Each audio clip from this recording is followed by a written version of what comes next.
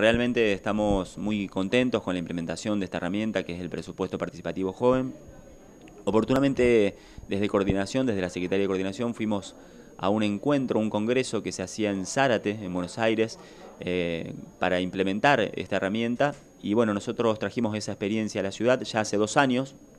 El año anterior tuvimos una grata experiencia con los jóvenes eh, y allí surgieron distintos proyectos eh, que fueron electos y son concretados durante este año.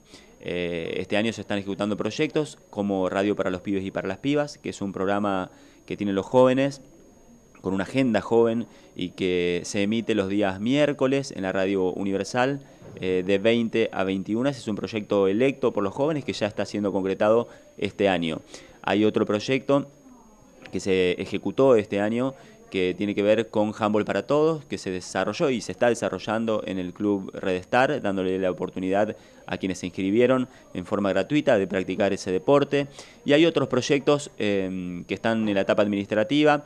Hay uno muy importante que estamos comprando los insumos, como es em, Cine Móvil, un lindo proyecto de alto contenido social y cultural porque prevé la posibilidad un carro móvil, un cine móvil que recorra los barrios y proyecte películas para poder originar el debate en espacios públicos. Así que, bueno, estos proyectos son algunos de los que fueron electos del año anterior y este año ya hemos desarrollado la etapa de diagnóstico, la etapa de presentación de proyectos y estamos eh, en este momento en la instancia de votación. Todavía no sabemos cuáles son los electos porque vamos a tener el escrutinio por allá por el mes de septiembre eh, y allí van a surgir cuáles son los nuevos proyectos electos para ser concretados el año próximo. Así que la verdad es que los jóvenes eh, están empezando a conocer esta herramienta y aprovecharla para a través de estos proyectos que ellos mismos crean empezar a cambiar la realidad de la ciudad.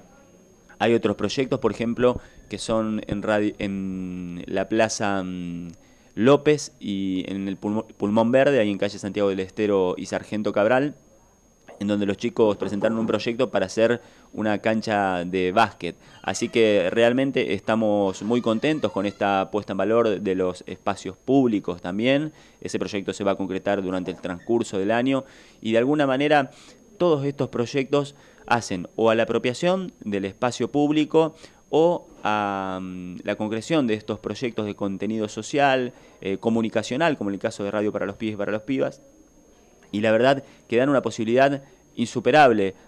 Entonces los jóvenes pueden ver que a través de sus ideas se transforma la realidad.